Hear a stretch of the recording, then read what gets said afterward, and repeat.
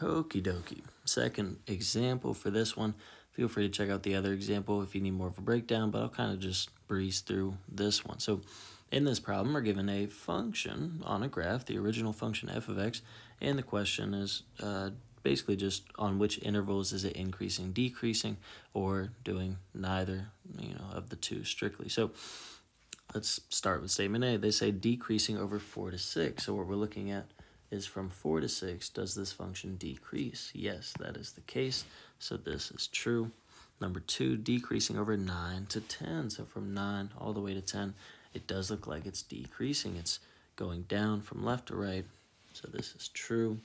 Increasing 8 to 9, so we found one that is not true because it's increasing and then it's decreasing within 8 to 9.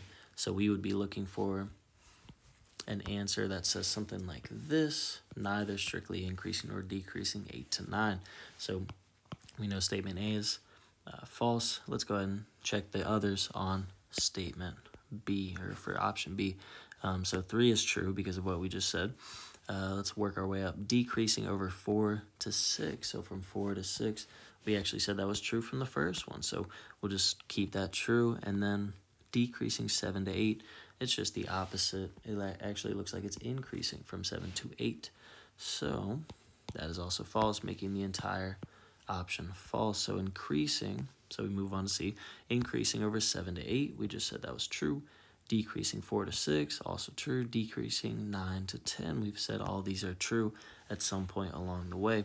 So C looks solid. Let's see if we can find the false one in option D.